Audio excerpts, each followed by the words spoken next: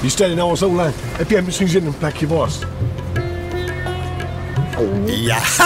Iedereen gaat voor de bijl. In de eigentijdse vleeswinkel van de Gildehuusslagerij in Groningen.